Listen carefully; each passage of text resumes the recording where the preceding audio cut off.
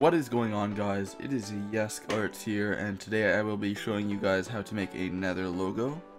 The last time I did this, I created a simple N within a box. If you haven't seen it, it will be the last upload on my channel prior to this upload. For this one, I have a planned sketch, unlike the last one. This is one that I posted on Instagram a while back, about five weeks ago entitled Mind Games. What we're going to do is we're going to start with a circle. create this circle, we're going to hold Shift and Alt and drag.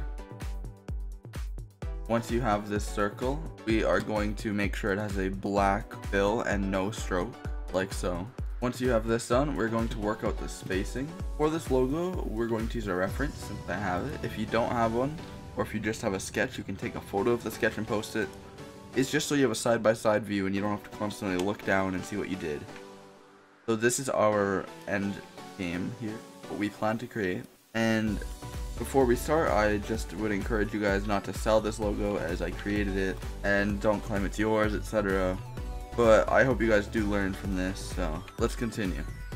Once we have this circle, we're going to make a square that is half the size of this circle. By dragging it from the center of the circle to the outside, it should snap on both. Once you have this, we're going to drag it above the circle. Make sure it snaps right onto that circle part right here. Once you have this, we can drag it once more upwards since we need to make this outer circle here. Once you have that, we're going to hold alt and drag the circle to duplicate it and drag it right over the other circle and snap it. We're going to drag it to the very closest edge of this square here. We're going to duplicate it once again, drag it to the center, and drag it to the very outer now. Once you have this, we can select both of these, not the very inner one, and use the path or the shape builder tool remove the center by holding alt and clicking where you want to remove. Now we can drag this square once more out here to snap it, just to get the spacing correct. Once you have this, we are going to do it once more. And we are going to use this circle. Once again, we can duplicate it or create a new one. Once you put it in the center, we can drag it to the exact same spot we did last time. Make sure it snaps. We are going to duplicate it. We're going to duplicate it and drag it once again to the very outer. We're going to select both of them and remove it once again with the Pathfinder tool. Only these two circles though. Now we have something that looks like a bullseye or a target. Once we're going to do once we have this bullseye looking thing, we're going to drag this square to the center of these circles. Once we have the square in the middle of the circle, we're going to drag it out. And we're going to also hold Alt drag so it duplicates, rotate it 90 by holding Shift and dragging the sides. And we're going to put this in the center as well. Once you have this, we can use the Pathfinder tool after you've selected all of the layers and remove these outer parts here and also remove this piece, this piece, and this piece since we can see in here that we will need to do that. Once you have this, we're going to hold Alt and drag this piece right here, right here. Make sure it snaps so you get the correct spacing. Once you have this, we're going to select the circle, we're going to click the circle, and remove this piece here with the shape builder tool that creates an insertion like that. Once you have this, we're going to duplicate this another rectangle wherever you want and remove this one right here by selecting them all and removing it. Make sure you put it above this one and snapped it. For all future cuts, you're just going to snap, so I shouldn't have to say snapping anymore.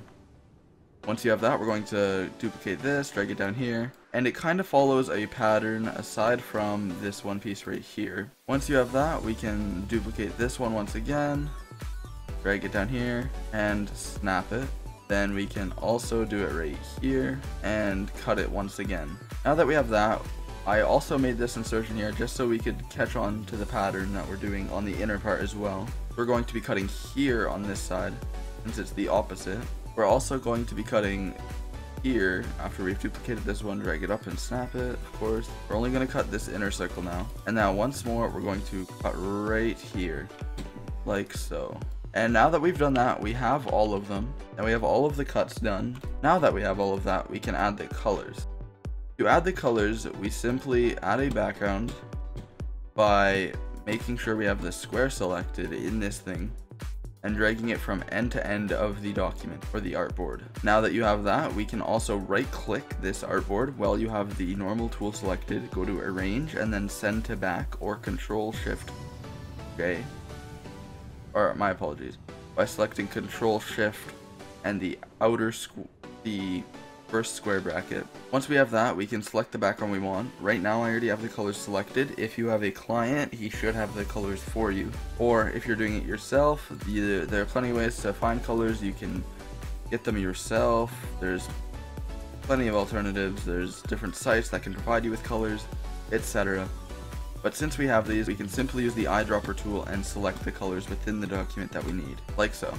It's extremely easy to create logos once you've already created them and you have that as a reference because you already know all the cuts and spacing that you want. I hope you learned from this by the shape builder tool as well as the ellipse and rectangular or square tools. If you did, make sure to leave a thumbs up or if you just like the logo or, or if you like videos or you want to see more, leave a thumbs up. It's really appreciated. I do appreciate all of the comments.